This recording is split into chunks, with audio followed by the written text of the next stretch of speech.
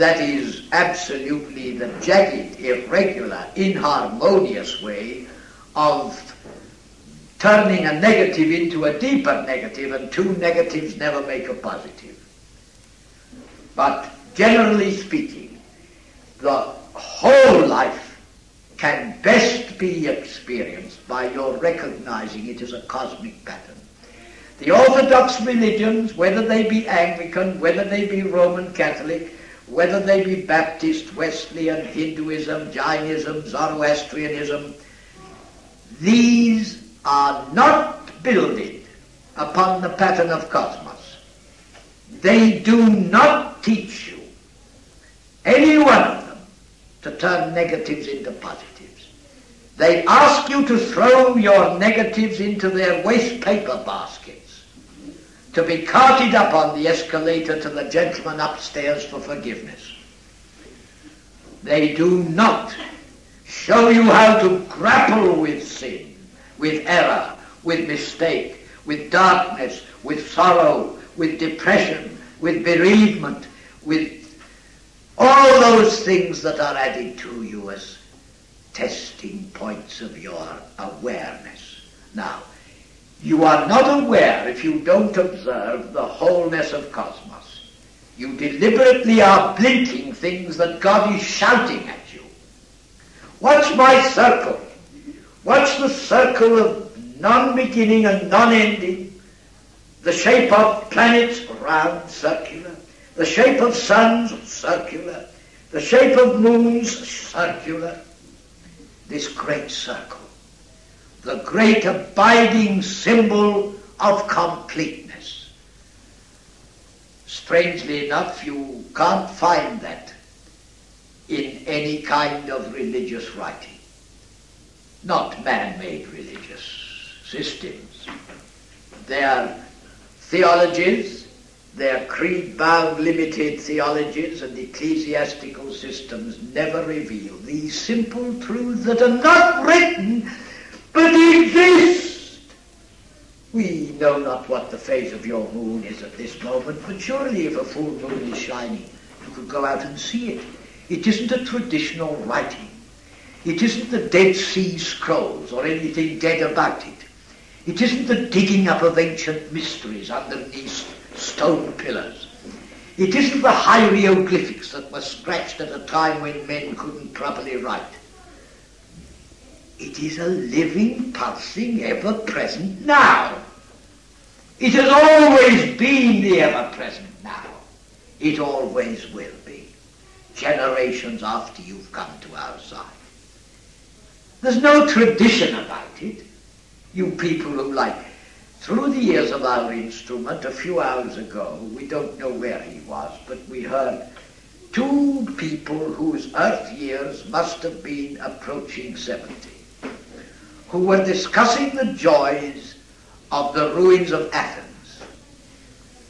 Well, worse than little boys in their excitement at having had a new toy, they were really, really wrapped up. Said one, as far as we can remember it impressing our instrument subconscious mind, said one, well, I think the Roman ruins in England are far more interesting than the Roman ruins abroad. Said the other, I still would like to try to capture what a civilization was like if I could draw closer to the inner meaning of the Parthenon. Well, you know, what good does it do?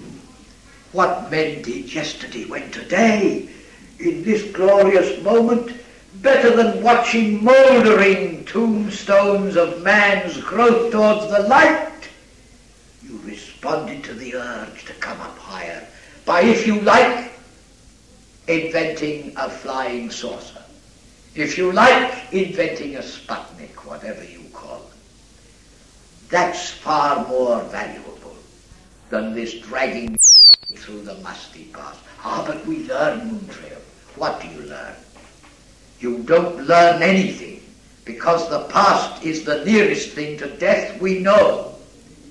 You learn, if by learning you mean the extension of the boundaries of knowledge by talking to God, who's alive now.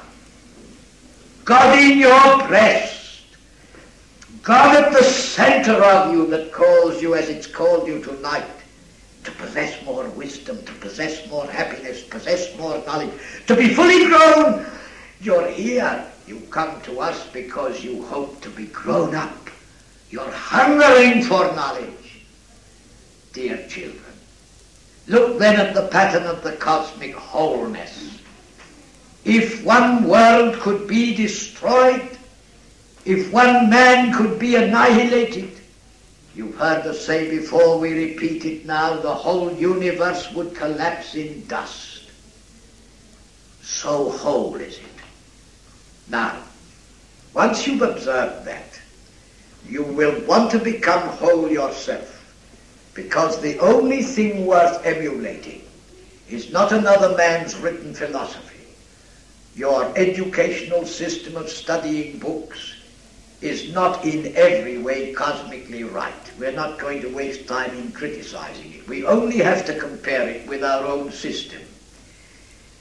We are amazed to find that law, as you interpret it on your earth plane, consists of millions of books that contradict each other, called Acts of Parliament.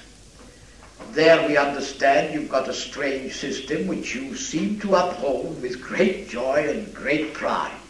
You call it democracy.